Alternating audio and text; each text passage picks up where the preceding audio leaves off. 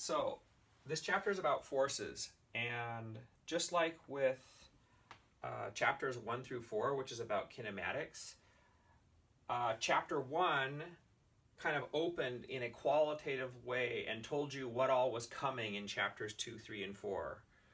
And here, chapter 5 is, in a way, giving you an overview of what all is coming in chapters 6, 7, and 8. So, the very first thing that's here is a pretty nasty looking equation, and it's equation 5.1. And it says that the sum i equals 1 to n of f sub i is an important combination. And he's going to call that sum f net.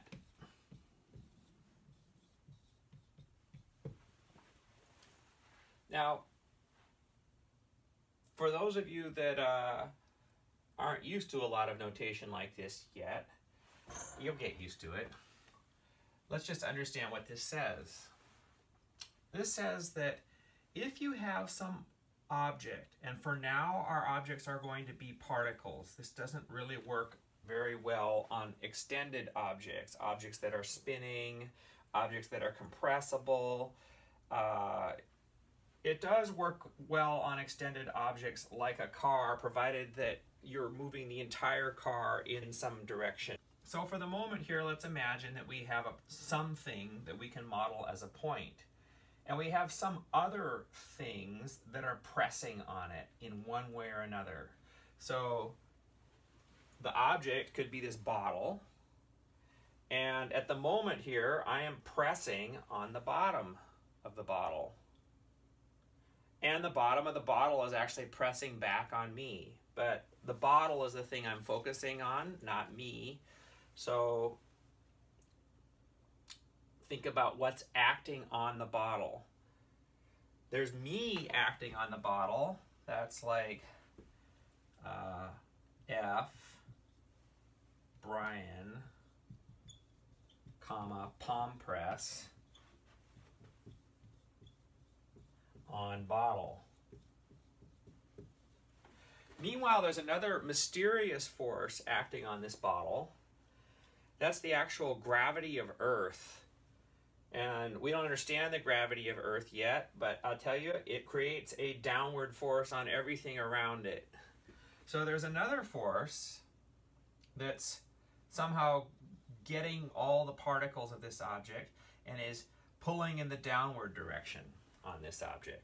Now we have a special way of drawing that, and the special way of drawing that, whenever we have a point particle. We draw it, and then we draw all the forces on the particle with the tail of the force vector at the particle. So the where, even though my palm was pressing up on the bottom, and it might seem kind of natural to put my palm press like that, the way we draw the diagrams, and this is a convention, the way we draw the diagram is we actually put Brian's palm press with its tail on the particle, pointing in the direction that I was pressing. And Earth, which was pulling down on this thing, we point, put that force vector's tail on the object, and we point it in the direction that it's pulling. So that's F of the Earth on the bottle. Okay, so this is an example where there are two forces. I could call this one, instead of all these subscripts, f sub 1. And I call, call this one, instead of all these subscripts, f sub 2. And so in this equation up here, n is 2. There's two forces acting on this particle. All this means then, this all this fancy notation means in this case is that f is f1 plus f2. But in general, there might be a bunch more forces on this thing. We might have some wind resistance. Who knows? Maybe somebody's also attached a spring to it. So if there are n things which is the general case that there could be as many as you like, all the way up to some number capital N. Then what this stands for is F1 plus F2 plus F3 plus dot dot dot plus F sub N. So this is just a short way of writing that. And the really critical thing here from a physics standpoint is that all a particle cares about as far as its ultimate trajectory is what the total vectorial sum of all the forces are on it. It doesn't matter whether there's three forces that made F net or 15 forces that comprise together to make F net. You do the sum, you get the F net, and that is everything you need to know about the forces on that particle to determine what's going to happen to it. The next thing is, well, what does happen to it? And this is uh, now popping ahead all the way to section 5.5, where Knight says, well, the acceleration of a particle is what is related to F net. And so you take F net, and the more F net is, the more acceleration there will be in we can write that. We can say there's some proportionality constant here. The more F net on a particle, the more its acceleration will be. The other thing about a particle, though, is a particle has a mass. And an interesting thing is, is that A, whatever acceleration you get from this, is also proportional to, and remember I write my proportional to's on the whiteboard that way, A is proportional to 1 over the mass. So whatever you get for the acceleration vector, if the particle had 2 kilograms of mass instead of having 1 kilogram of mass, then it would have half the acceleration.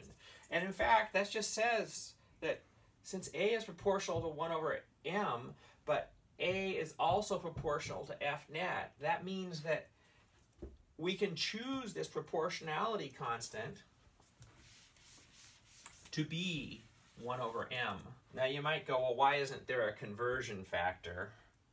Like, why isn't there some additional conversion factor out here that after you take force and divide by mass, then maybe there's still some constant, uh, I could call it d, that gives you acceleration? Well, we choose the units of mass and we choose the units of force such that there is no additional constant in this formula. So acceleration is 1 over m times f net, and you get f net just by vectorially adding up all the forces in a problem.